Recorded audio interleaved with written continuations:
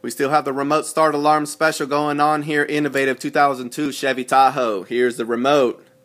Got your lock. Unlock. For remote start, we hit the blue button once. It also has the trunk for the cars. Parking lights come on. Engine cranks.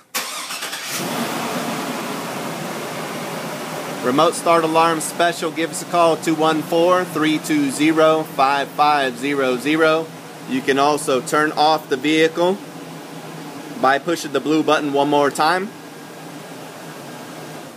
And there it is.